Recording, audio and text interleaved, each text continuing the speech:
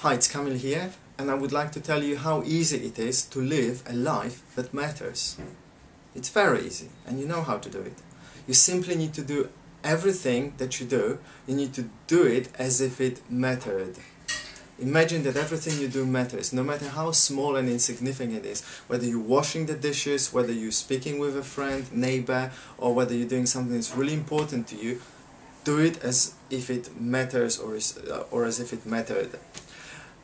And that's how you start living a life that really matters. And when you start doing things in, in this way, suddenly life occurs to you like really it matters, and you think like, oh my god, I have a fantastic life other people start seeing you in a different way. They're thinking, oh my God, he is living really his life, and you know, and I, I would like to live like him. And they will start relating to you in a completely different way, and that will actually change the way you feel about yourself.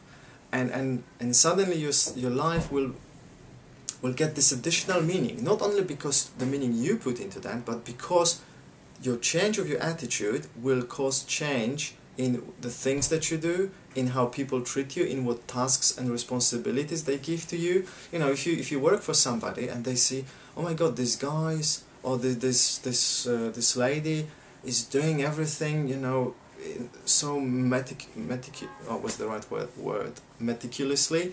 So you know, uh, with such an attention to details, you know, uh, you know, that's a great person, you know. Let's let's give her him more responsibilities, give them them the pay rise. You know, they're really good asset for us. And the same, it's not only about your job; it's about your family, friends. You know, they will start looking at you in a different way.